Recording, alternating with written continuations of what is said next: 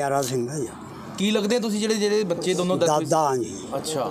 ਤੇ ਇਹ ਕੀ ਤੁਹਾਨੂੰ ਕਿਵੇਂ ਲੱਗਿਆ ਪਤਾ ਵੀ ਜਿਹੜੀ ਮਾਂ ਬੱਚਿਆਂ ਦੀ ਸੀਗੀ ਉਹਨੇ ਹੀ ਇਹ ਸਾਰਾ ਕੰਮ ਕੀਤਾ ਤੁਹਾਨੂੰ ਕਿਵੇਂ ਲੱਗਿਆ ਪਤਾ ਜੀ? ਮਨ ਤਾਂ ਜੀ ਪਤਾ ਇਸਕੇ ਚਾਲ ਚੱਲਣਾ ਤੇ ਉਹੀ ਲੱਗਿਆ ਵੀ ਜਿਹੜੀ ਉਹ ਘਰਾਂ ਨਹੀਂ ਰਹਿੰਦੀ ਹੈ ਹੂੰ। ਵੀ ਕੰਮ ਹੀ ਇਸਨੇ ਕਰਾਇਆ। ਵਾ। ਅੱਛਾ। ਹਾਂ ਜੀ। ਪਹਿਲੇ ਦਿਨ ਜਿੱਦਣ ਇਹ ਕੰਮ ਹੋਇਆ ਸੀ ਉਦੋਂ ਸਾਰਿਆਂ ਨੂੰ ਸਾਰੇ ਹੀ ਸ਼ੱਕ ਜ਼ਾਹਰ ਕਰ ਰਹੇ ਸੀ ਕੋਈ ਕਹਿੰਦਾ ਡਾਕਟਰ ਹਾਂ ਜੀ ਹਾਂ ਸ਼ੱਕ ਕਰ ਰਹੇ ਤੇ ਸਭ ਪੁਲਿਸ ਵੀ ਕਰ ਰਹੀ ਸੀ ਔਰ ਪਿੰਡ ਵੀ। ਠੀਕ ਹੈ। ਵੀ ਕੰਮੇ ਇਸਕਾ ਹੋਇਆ ਵਾ। ਫਿਰ ਇਹਨਾਂ ਨੇ ਪੁਲਿਸ ਵਾਲਿਆਂ ਨੇ ਜੀ ਦਵਾ ਰੱਖੀ ਬਾਤ।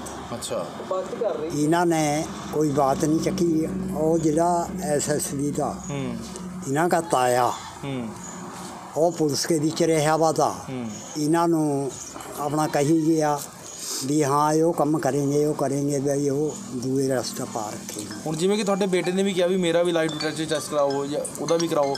ਚਲੋ ਉਹ ਵੀ ਹੋ ਗਿਆ ਉਹਦੀ ਰਿਪੋਰਟ ਆਈ ਕਿ ਨਹੀਂ ਆਈ ਕੀ ਪਤਾ ਉਸੇ ਆਧਾਰ ਤੇ ਪੁਲਿਸ ਨੇ ਫੜਾਵੇ। ਤੁਸੀਂ ਆਪਣੇ ਤੌਰ ਤੋਂ ਕੀ ਮੰਗ ਕਰਦੇ ਹੋ ਵੀ ਹਾਂ ਮੈਂ ਤਾਂ ਮੰਗ ਉਹੀ ਕਰਾਂ ਜੀ ਇਹਨਾਂ ਨੂੰ ਫਾਹਾ ਹੋਣਾ ਚਾਹੀਦਾ। ਬਸ। ਤੁਹਾਨੂੰ ਇਨਸਾਫ ਮਿਲ ਗਿਆ ਪੁਲਿਸ ਨੇ ਹਾਂ ਇਨਸਾਫ ਤੁਹਾਨੂੰ ਹਾਂ। ਜੀ ਪੁਲਿਸ ਨੇ।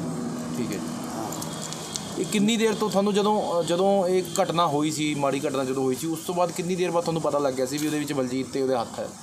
ਬਲਜੀਤ ਕਹਦਾ ਇਹ ਹੱਥ ਮਾਨੂੰ ਜੱਜੀ ਪਤਾ ਲੱਗ ਗਿਆ ਤਾਂ। ਅੱਛਾ ਜੀ। ਪਰ ਹਮੇ ਕਹਿ ਨਹੀਂ ਸਕੇ ਕੁਛ। ਹੂੰ, ਬਲਜੀਤ ਨੂੰ ਕਈ ਵਾਰ ਪੁਲਿਸ ਨੇ ਫੜਿਆ ਵੀ ਆ ਉਸ ਤੋਂ ਬਾਅਦ ਛੁੱਟ ਜਾਂਦਾ ਸੀ ਹਾਂ ਛੁੱਟ ਜੇ ਕੀ ਵਜ੍ਹਾ ਸੀ ਇਹ ਜੀ? ਫਿਰ ਵਜ੍ਹਾ ਇਹੀ ਤੀ ਜੀ ਉਹ ਛਡਾ ਲਿਆ ਬਈ ਅੱਛਾ ਜੀ। ਪਾਇਆ। ਕੀ ਨਾਮ ਉਹਦਾ?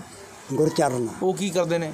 ਐਸਐਸ ਵੀ ਤਾਂ ਜੀ ਪਹਿਲਾਂ ਉਹ ਵੀ ਤੇ ਬਾਦਲ ਕਾ ਗਿਆ। ਸੱਚੋ ਦਾ। ਅੱਛਾ ਐਸਐਚਓ ਹਾਂ। ਅੱਛਾ।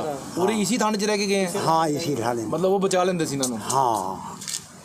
ਫਿਰ ਹੁਣ ਤੁਸੀਂ ਕੀ ਮੰਗ ਕਰਦੇ ਹੋ ਵੀ ਮੈਂ ਮੰਗੀ ਉਹੀ ਕਰਾਂ ਜੀ ਇਹਨਾਂ ਨੂੰ ਫਾਹੇ ਦੇ ਬਗੈਰ ਤਾਂ ਛੁੱਟਾ ਹੀ ਨਾ ਜਿਹੜੇ ਹੋਰ ਦੋਸ਼ੀਆਂ ਨੇ ਇਹਨਾਂ ਦਾ ਸਾਥ ਦਿੱਤਾ। ਉਹ ਵੀ ਫਾਹਾ ਆਵਾ ਉਹਨਾਂ ਨੂੰ ਜੀ ਅੱਛਾ। ਬਸ। ਠੀਕ ਹੈ ਸੇ ਨਹੀਂ ਹੈਗਾ ਵੀ ਹਾਂ ਮੈਂ ਪੁੱਛਦਾ ਰਹਿੰਦਾ ਵੀ ਤੇਰੀ ਕੋਈ ਗੱਲਬਾਤ ਆ ਦੱਸ। ਵੀ ਹਾਂ ਜੀ ਮੈਨੂੰ ਦੱਸ ਦੇ ਕੋਈ ਬਾਤ ਨਹੀਂ।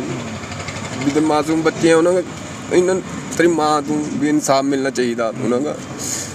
ਪਰ ਮਾਂ ਇਹ ਭਰੋਸਾ ਨਹੀਂ ਤਾਂ ਵੀ ਮਾਂ ਇਹੋ ਜਿਹਾ ਕੰਮ ਕਰ ਦੇਗੀ। ਕਿਸੇ ਨੂੰ ਕਿਸੇ ਨੂੰ ਵੀ ਨਹੀਂ ਤਾਂ ਵੀ ਮਾਂ ਇਹੋ ਜਿਹਾ ਕੰਮ ਕਰੇਗੀ ਜੀ ਪਰ ਮਾਂ ਇਹੋ ਜਿਹੀ ਨਿਕਲੇਗੀ ਪਤਾ ਨਹੀਂ। 19 ਨੂੰ ਦੋ ਬੱਚੇ, ਦੋ ਸਕੇ ਭਰਾ ਖੇੜੀ ਗੰਡੀਆਂ ਪਿੰਡ ਵਿੱਚੋਂ ਗਾਇਬ ਹੋ ਜਾਂਦੇ ਆ। ਇੱਕ 8 ਸਾਲ ਦਾ ਤੇ ਇੱਕ 10 ਸਾਲ ਦਾ ਬੱਚਾ। ਕਾਫੀ ਸੈਂਸੇਸ਼ਨ ਹੋਈ, ਕਾਫੀ ਜੋ ਆਸਪੈਕਟਸ ਹੈ ਇਹਦੇ 'ਚ ਐਕਸਪਲੋਰ ਕੀਤੇ ਗਏ ਇਨਵੈਸਟੀਗੇਸ਼ਨ ਦੇ ਦੌਰਾਨ ਕਿ ਇਹ ਕਿਵੇਂ ਬੱਚੇ ਗੁੰਮ ਹੋਏ, ਕਿੱਧਰ ਨੂੰ ਗਏ ਤੇ ਇਹਨਾਂ ਦੀ ਮੌਤ ਕਿਵੇਂ ਹੋਈ, ਕਿਉਂਕਿ ਇਹਨਾਂ ਦੀਆਂ ਜੋ ਲਾਸ਼ਾਂ ਸੀ। ਹੁਣ ਅਨਲੌਕ ਤੋਂ ਬਾਅਦ ਜਿਹੜੀਆਂ ਸੈਂਸੇਸ਼ਨਲ ਕੇਸਿਸ ਦੀਆਂ ਫਾਈਲਸ ਹੈ, ਉਹਨਾਂ ਨੂੰ ਜਦੋਂ ਇੱਕ ਇੱਕ ਕਰਕੇ ਐਕਸਪਲੋਰ ਕੀਤਾ ਗਿਆ ਤਾਂ ਇਹ ਕੇਸ ਸਾਹਮਣੇ ਆਇਆ।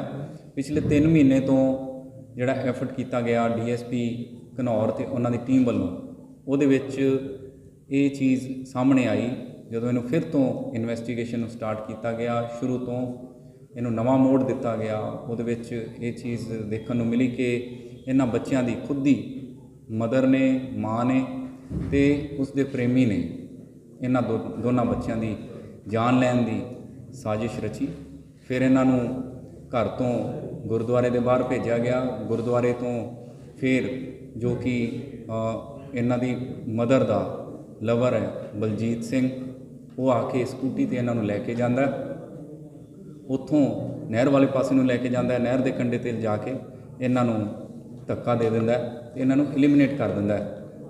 ਫਿਰ ਹੁਣ ਜਦੋਂ ਕਿ ਤਫਤੀਸ਼ ਆਪਣੇ ਲੌਜੀਕਲ ਐਂਡ ਤੇ ਪਹੁੰਚ ਗਈ ਹੈ, ਤਾਂ ਇਹਨਾਂ ਦੋਨਾਂ ਮੁਜਰਮਾਂ ਨੇ ਇਹ ਕਬੂਲ ਕਰ ਲਿਆ। ਇਹਦਾ ਪੂਰਾ ਸੀਕੁਐਂਸ ਆਫ ਇਵੈਂਟ ਹੈ ਜਿਹੜਾ ਜਿਹੜਾ ਚੇਨ ਆਫ ਇਵੈਂਟਸ ਹੈ, ਉਹ ਸਾਰੇ ਇਹਨਾਂ ਨੇ ਖੁਦ ਇੱਕ ਇੱਕ ਥਾਂ ਤੇ ਜਾ ਕੇ ਪੁਲਿਸ ਨੂੰ ਇਨਵੈਸਟੀਗੇਸ਼ਨ ਆਫੀਸਰਸ ਨੂੰ ਡੀਐਸਪੀ ਸਾਹਿਬ ਨੂੰ ਤੇ ਮੈਨੂੰ ਖੁਦ ਨੂੰ ਇਹ ਸਾਰੀ ਚੀਜ਼ ਐਕਸਪਲੇਨ ਕੀਤੀ ਹੈ ਕਿ ਇਹਨਾਂ ਨੇ ਸਾਜ਼ਿਸ਼ ਕਿਵੇਂ ਰਚੀ ਕਿਵੇਂ ਅਮਲ ਦੇ ਵਿੱਚ ਲੈ ਕੇ ਆਂਦੀ? ਕਿਵੇਂ ਅਲੱਗ-ਅਲੱਗ ਮੋਬਾਈਲ ਫੋਨ ਯੂਜ਼ ਕੀਤੇ? ਕਿਹੜੇ-ਕਿਹੜੇ ਨੰਬਰ ਇਹਨਾਂ ਨੇ ਵਰਤੇ? ਕਿਹੜੇ ਕਦੋਂ ਬੰਦ ਹੋਏ? ਤੇ ਉੱਥੋਂ ਇਹ ਸਾਰੀਆਂ ਗੱਲਾਂ ਕਲੀਅਰ ਹੋ ਗਈਆਂ ਤੇ ਬੜੀ ਚੰਗੀ ਇਨਵੈਸਟੀਗੇਸ਼ਨ ਪੂਰੀ ਟੀਮ ਨੇ ਕੀਤੀ ਹੈ ਕਿ ਤੇ ਇਹ ਇਹ ਟੀਮ ਵਧਾਈ ਦੀ ਪਾਤਰ ਹੈ ਤੇ ਇਹ ਜਿਹੜੇ ਦੋਨੇ ਮੁਜਰਮ ਹੈ ਇਹ ਸਜ਼ਾ ਦੇ ਪਾਤਰ ਹੈ। ਸਰ ਇਹਨਾਂ ਦੋਨਾਂ ਤੋਂ ਇਲਾਵਾ ਵੀ ਕੋਈ ਇਹਨਾਂ ਵਿੱਚ ਇਨਵੋਲਡ ਸੀਗਾ ਸਰ? ਨਹੀਂ ਹਜੇ ਕੋਈ ਇਸ ਤਰ੍ਹਾਂ ਦੀ ਚੀਜ਼ ਸਾਹਮਣੇ ਨਹੀਂ ਇਹਨਾਂ ਤੋਂ ਇਲਾਵਾ ਇਹਨਾਂ ਦੋਨਾਂ ਤੋਂ ਇਲਾਵਾ। ਸਰ ਰਿਮਾਂਡ ਹੋਮ ਕਿੰਨੇ ਦਿਨ ਦਾ 5 ਦਿਨ ਦਾ। ਰਿਮਾਂਡ ਜਿਹੜਾ ਹੈ ਉਹ ਇਹਨਾਂ ਦੋਨਾਂ ਮੁਜਰਮਾਂ ਦਾ ਸਾਨੂੰ ਮਿਲਿਆ।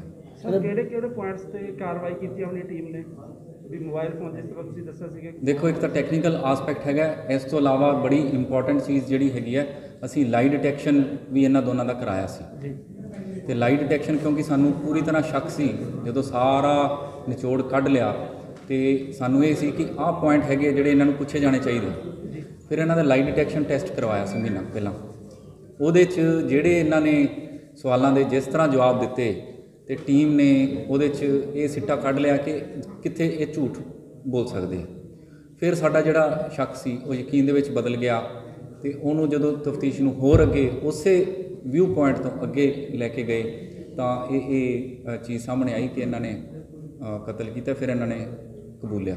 ਸਰ ਬਲਜੀਤ ਸਿੰਘ ਦਾ ਪਹਿਲਾਂ ਵੀ ਕ੍ਰਾਈਮ ਰਿਪੋਰਟ ਕੁਝ ਹੈਗਾ? ਨਹੀਂ ਇਸ ਤਰ੍ਹਾਂ ਦਾ ਕੋਈ ਸਾਡੇ ਅ, ਧਿਆਨ ਦੇ ਵਿੱਚ ਇਸ ਤੋਂ ਪਹਿਲਾਂ ਦਾ ਕੋਈ ਕ੍ਰਾਈਮ ਨਜ਼ਰ 'ਚ ਨਹੀਂ ਹੈ ਸਰ ਇਹ ਸਿਰਫ ਪ੍ਰੇਮ ਸੰਬੰਧਾਂ ਕਰਕੇ ਹੀ ਹੋਇਆ ਜਾਂ ਕੋਈ ਪ੍ਰਾਪਰਟੀ ਦਾ ਵੀ ਮਸਲਾ ਸੀ? ਕਿ ਚਾਚਾ ਸੀ ਉਹ ਲੜ ਪਿਆ ਨਹੀਂ ਪ੍ਰਾਪਰਟੀ ਦਾ ਕੋਈ ਮਸਲਾ ਹਜੇ ਸਾਡੇ ਧਿਆਨ ਦੇ ਵਿੱਚ ਨਹੀਂ ਆਇਆ। ਪ੍ਰੇਮ ਸੰਬੰਧਾਂ ਕਰਕੇ ਸਾਡੇ ਅ, ਜੋ ਧਿਆਨ ਦੇ ਵਿੱਚ ਪੂਰੀ ਤਫਤੀਸ਼ ਉਧਰ ਨੂੰ ਹੀ ਗਈ ਹੈ ਤੇ ਇਹ- ਇਹਦੇ ਵਿੱਚ ਹੁਣ ਤੱਕ ਇਹੀ ਸਾਨੂੰ ਨਜ਼ਰ 'ਚ ਆਇਆ। ਇਸ ਤੋਂ ਇਲਾਵਾ ਜੇ ਕਿਸੇ ਹੋਰ ਬੰਦੇ ਦੀ ਇਨਵੋਲਵਮੈਂਟ ਆਉਂਦੀ ਹੈ ਜਾਂ ਕੋਈ ਹੋਰ ਐਂਗਲ ਆਉਂਦਾ ਉਹ ਦੌਰਾਨੇ ਤਫਤੀਸ਼ ਹੋਰ ਅੱਗੇ ਸਰ ਜਿਹੜੇ ਅਧਿਕਾਰੀਆਂ ਨੇ ਜਾਂਚ ਦੇ ਵਿੱਚ ਹਿੱਸਾ ਲਿਆ ਬਹੁਤ ਵਧੀਆ ਢੰਗ ਨਾਲ ਜਾਂਚ ਕੀਤੀ ਉਹਨਾਂ ਵਾਸਤੇ ਅੱਗੇ ਕੀ ਉਹਨਾਂ ਵਾਸਤੇ ਅਸੀਂ ਡੀਜੀ ਸਾਹਿਬ ਨੂੰ ਸਪੈਸ਼ਲ ਰਿਵਾਰਡ ਵੀ ਅਸੀਂ ਪ੍ਰਪੋਜ਼ ਕਰਾਂਗੇ।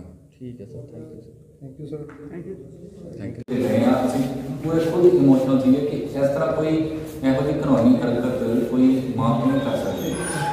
ਆਪਣੇ ਖੁਦ ਦੇ ਬੱਚਿਆਂ ਨੂੰ 8 ਸਾਲ ਦਾ ਇੱਕ ਬੇਟਾ ਹੈ ਇੱਕ 10 ਸਾਲ ਦਾ ਬੇਟਾ ਹੈ ਜਾ ਕੇ ਇਹੋ ਜਿਹੇ ਤੁਸੀਂ ਸਾਜ਼ਿਸ਼ ਰਚ ਰਹੇ ਹੋ ਕਿ ਅਹ, ਨਹਿਰ ਦੇ ਕੰਢੇ ਤੇ ਜਾ ਕੇ ਉਹਨਾਂ ਨੂੰ ਮਾਸੂਮਾਂ ਨੂੰ ਤੁਸੀਂ ਧੱਕਾ ਦੇ ਰਹੇ ਹੋ। ਉਹ ਤਾਂ ਪੈਰ ਵੀ ਲੱਗਣ ਹੁੰਦੇ ਜੀ ਇਹਨੇ ਲਾਸ਼ ਮਿਲ ਜਾਏਗਾ ਪੂਰਾ ਪਤਾ ਕਰ ਹਾਂਜੀ